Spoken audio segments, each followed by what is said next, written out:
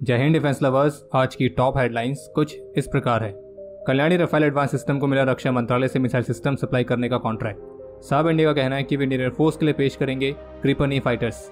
Air force की medium transport aircraft वाले deal में कॉम्पिटिशन हुआ टफ रफाल एम फाइटर्स की डील पर निगोसिएशन हुए स्टार्ट और भारत के न्यूक्लियर सबमरीन के वायरल वीडियो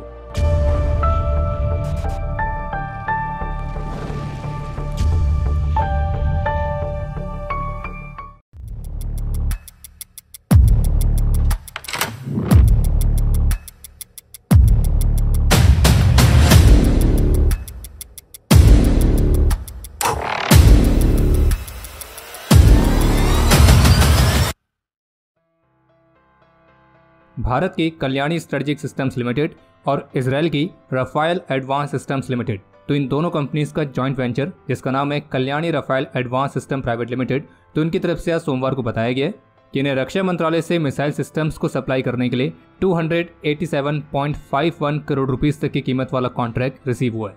और ये जो ऑर्डर है अगले 12 महीनों के अंदर एग्जीक्यूट किए जाने की उम्मीद है। और जो ये जॉइंट वेंचर है, Kalyani Rafael advance systems private limited तो ये मुख्य रूप से एम यानी कि बराकेट की मिसाइल किट्स को मैन्युफैक्चर करती है। और जबकि इस जॉइंट वेंचर को 2022 में भी इसराइली डिफेंस फोर्सेस और बाकी अदर डिफेंस स्टैब्लिशमेंट के लिए बराकेट मिसाइल किट्स को सप्लाई करने के लिए 100 मिलियन डॉलर्स का ऑर्डर रिसीव हुआ था। और वैसे आपको ये भी बता दें कि जो एक Kalyani Rafael advance systems limited है तो ये एक सर्टिफाइड सीक्रेट फैसिलिटी भी है, जो कि भारत और इसराइल के रक्षा मंत्रालय के लिए कई सारे सेंसिटिव डिफेंस प्रोजेक्ट्स पर काम करती है।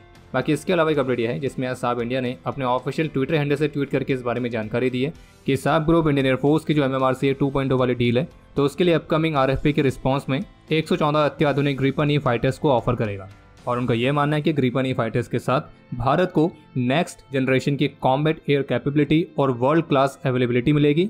जिसकी मदद से भारत किसी भी खतरे को किसी भी समय और कहीं पर भी फेस करने के लिए तैयार रहेगा। और बाकी कमेंट सेक्शन में ज़रूर बताना कि आपके विचार में जो एक ग्रिपन ए फाइटर है तो इसके द्वारा इंडियन एयरफोर्स के इस एम प्रोग्राम को जीतने के 100 में से कितने प्रतिशत चांसेस हैं?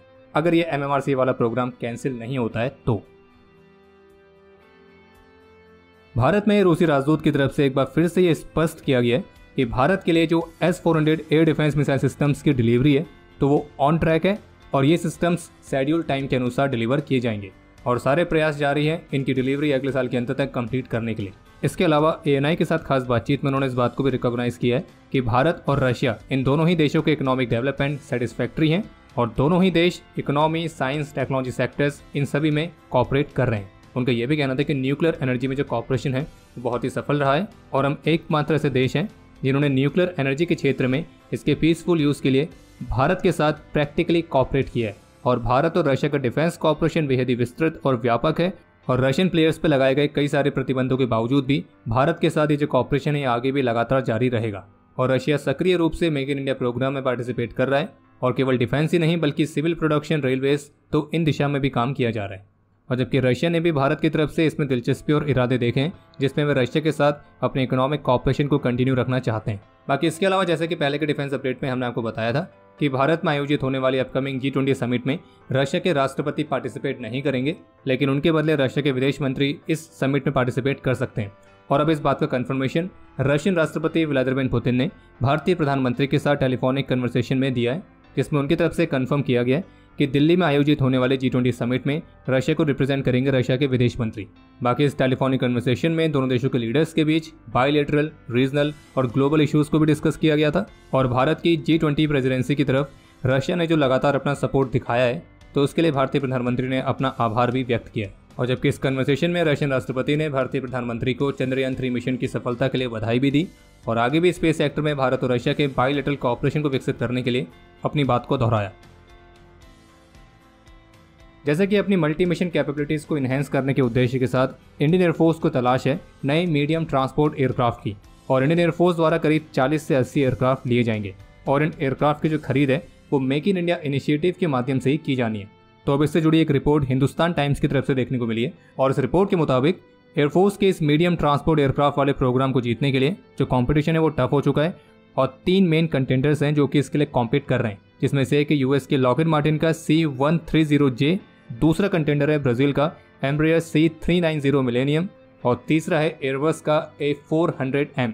और रिपोर्ट के मुताबिक ये जो डील है, इसमें टेक्नोलॉजी ट्रांसफ़र के साथ स्वदेशी कंटेंट की अधिक मात्रा के लिए भारत में ही मैन्युफैक्चरिंग लाइन को स्थापित करना भी शामिल है। और एयरफोर्स को रिक्वायरमेंट है 18 से 30 टन तक की कार्गो कैरिंग कैपेसिटी रखने वाले एक नए ट्रांसपोर्ट एयरक्राफ्ट की।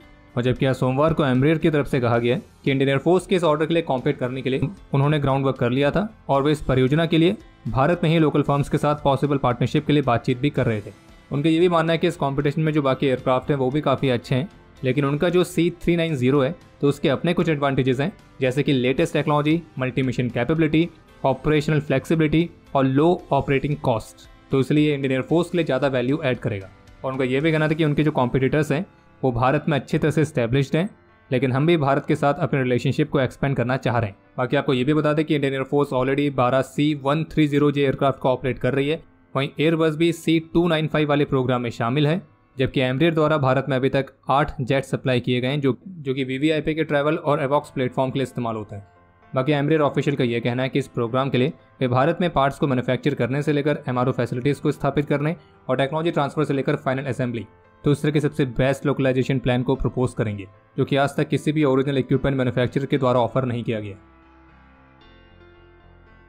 जब से भारत की तरफ़ से इंडियन नेवी के लिए 26 रफाल एम फाइटर्स को खरीदने वाला प्रस्ताव क्लियर किया गया तो उसके बाद से अब जाकर इस डील के लिए पहली बार फ्रेंच डिफेंस मिनिस्ट्री के ऑफिशियल्स ने अपने इंडियन काउंटर पार्ट्स के साथ मीटिंग कंडक्ट करी है। और लेटेस्ट मीडिया रिपोर्ट्स के मुताबिक ये जो मीटिंग है, ये पिछले सप्ताह आयोजित की गई थी, जबकि फ्रेंच साइड का भी ये कहना है कि अगर ज़रूरत पड़ेगी तो वे अपने एयरक्राफ्ट के प्रोडक्शन को 18 एयरक्राफ्ट पर ईयर से 30 एयरक्राफ्ट पर ईयर तक बढ़ा देंगे। और जबकि द प्रिंट की रिपोर्ट के मुताबिक 26 रफाल एम फाइटर्स की खरीद के लिए फाइनेंशियल कोर्ट्स को लेकर जो भारत है वो जल्दी फ्रेंच गवर्नमेंट को लेटर ऑफ़ रिक्वेस्ट भी भेजेगा। लेकिन इसी के साथ इस रिपोर्ट में इस बात को भी क्लियर किया गया कि इंडियन एयरफोर्स जो कि 114 मल्टी रोल फाइटर एयरक्राफ्ट को लेना चाह रही है, और जिसके लिए रफाल को ही नेचुरल चॉइस माना जा रहा है, लेकिन फ़िलहाल अभी तक एयरफोर्स और नेवी के रफाल फाइटर्स का कोई भी ज्वाइंट एक्विजिशन प्लान नहीं किया है। हालाँकि एविएशन एक्सपर्ट्स ये मानते हैं कि अगर एयरफोर्स और नेवी की जो रिक्वायरमेंट है उसे संयुक्त रूप से आगे पेश किया जाए तो उससे इन एयरक्राफ्ट की खरीद की जो कॉस्ट है वो काफ़ी नीचे आ सकती है और ये भारत के लिए फ़ायदेमंद ही साबित होगा। और जबकि फ्रेंच फॉर्म डसॉल्ट एविएशन भी पहले ही क्लियर कर चुकी है कि अगर रफाल फाइटर्स भारत में ही मैन्युफैक्चर करने हैं तो उन्हें कम से कम हंड्रेड ऑर्डर्स चाहिए। तो अगर नेवी और एयरफोर्स अपनी रिक्वायरमेंट्स को एक साथ पेश करते हैं तो उससे रफाल एम की मैन्युफैक्चरिंग लाइन भी भारत में आएगी। और उससे रोज़गार के नए अवसर भी क्रिएट होंगे। लेकिन फ़िलहाल अभी जो ये मीटिंग हुई है, इसमें इंडियन एयरफोर्स की कोई भी रिक्वायरमेंट नहीं रखी गई और इसमें केवल रफाल एम फाइटर्स की डील के बारे में ही बात हुई है। केनिया के रक्षा मंत्री आज 28 अगस्त से भारत की तीन दिवसीय विज़िट पर है और कल वे उनतीस अगस्त को अपने भारतीय काउंटर पार्ट रक्षा मंत्री श्री राजनाथ सिंह के साथ मीटिंग कंडक्ट करेंगे और अपने इस भारत विज़िट के दौरान वे इंडियन शिपयार्ड्स और डिफेंस इंडस्ट्रीज़ का भी दौरा कर सकते हैं। और इस विज़िट को दोनों देशों के डिफेंस कॉपरेशन को और मज़बूत करने के लिए एक नई अपॉर्चुनिटी की तरह भी देखा जा रहा है। इसके अलावा एक अपडेट यह है कि आज ढाका में भारत और बांग्लादेश के बीच फिफ्थ एनुअल डिफेंस डायलॉग को कंडक्ट किया गया था। इस दौरान दोनों देशों के बीच के ongoing defence cooperation activities को रिव्यू किया गया और साथ ही दोनों पक्षों ने अपने बीच के डिफेंस कॉपरेशन एंगेजमेंट्स को और बढ़ाने के लिए सहमति भी दी है। बाकी इसके अलावा एक अपडेट यह कि सोशल मीडिया पर चीन के नए J thirty five carrier based stealth fighter aircraft के फ़्लाइट टेस्ट की पहली वीडियो सामने आई है और इस जे थर्टी फाइव फाइटर के माध्यम से जो चीन है, वो अमेरिका के F thirty five B fighter को चैलेंज करना चाहता है। और जबकि सोशल मीडिया पर एक और वीडियो क्लिप काफ़ी वायरल हो रही है और इस वीडियो क्लिप को लेकर यह कहा जा रहा है कि इसमें जो सबमरीन दिखाई दे रही है, वो भारत की पहली nuclear powered ballistic missile submarine I N Arihant है। और इसे आई एन अरिहंत की इस तरह की पहली रिकॉर्डेड फुटेज भी कहा जा रहा है। हालाँकि इस दावे में कितनी सच्चाई है तो फ़िलहाल अभी इसकी पुष्टि नहीं की जा सकती है। बाकी इसके अलावा एक अपडेट है स्पेस सेक्टर से, जहाँ इसरो की तरफ़ से ऑफिशियली कंफर्म किया गया कि जो भारत का पहला सोलर मिशन है, आदित्य एलवन तो इसे 2 सितंबर को श्रीहरिकोटा से ग्यारह बज के पचास मिनट पर लॉन्च किया जाएगा। और इस आदित्य एलेवन मिशन का मेन ऑब्जेक्टिव है हमारे सूरज को और गहराई से समझना। इसके अलावा एक अपडेट ये भी सामने आया कि गगनयान मिशन प्रोग्राम के हिस्से के तौर पर इसके जो ट्रायल्स हैं, वो अक्टूबर के पहले या दूसरे सप्ताह से शुरू किए जाएँगे और जबकि गगनयान मिशन के दूसरे फ़ेज़ में व्योम मित्रा नाम के ह्यूमनॉइड को स्पेस में भेजा जाएगा। और इन दोनों फेसेस को सफलतापूर्वक कंप्लीट करने के बाद ही इस गगनयान मिशन का मैंड मिशन परफॉर्म किया जाएगा। बाकी अब समय है आज के इतिहास का। आज के दिन 1993 में देश के प्रति अपना कर्तव्य निभाते हुए सूबेदार मनोहर लाल वीर गति को प्राप्त हुए थे और इन्हें मरणोपरांत सेना मेडल से सम्मानित किया गया। आज के दिन 1989 में ऑपरेशन पवन के दौरान अपने अदम्य साहस और वीरता का परिचय देते हुए हवलदार अजीत सिंह वीर गति को प्राप्त हुए और इन्हें मरणोपरांत वीर चक्र से सम्मानित किया गया। आज के दिन 1965 में हमारे वीरों ने तीन दिन तक चली लड़ाई के बाद हाजिर पीर को पाकिस्तानियों के कब्जे से छुड़ाकर यहाँ पे तिरंगा लहराया था। हालाँकि फिर बाद में नेगोशिएशन करने के बाद ये वाला क्षेत्र वापस से पाकिस्तान को दे दिया गया था। और आज ही का वो दिन है जब भारत और पाकिस्तान के बीच 1971 में सरेंडर करने वाले पाकिस्तान के 90,000 से अधिक सैनिकों को छोड़ने के लिए एग्रीमेंट साइन हुआ था। और ये तो आप जानते होंगे कि 1971 में जो 90,000 से अधिक पाकिस्तानी सैनिकों ने सरेंडर किया था तो वह वर्ल्ड वॉर टू के बाद से दुनिया के किसी भी आर्मी द्वारा किया गया सबसे बड़ा सरेंडर था। तो इसी बात पर आपके लिए आज का प्रश्न यह है कि 1971 के इंडो पाकिस्तान वॉर के समय इंडियन आर्मी के प्रमुख कौन थे? समय है आज के टॉप थ्री कमेंट्स का। जो ये रहे आपकी स्क्रीन पर।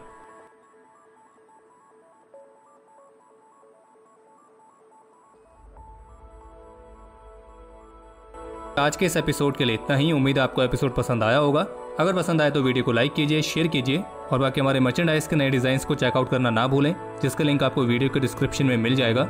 और बाकी अगर आपने चैनल को सब्सक्राइब नहीं किया है तो चैनल को भी सब्सक्राइब ज़रूर करें।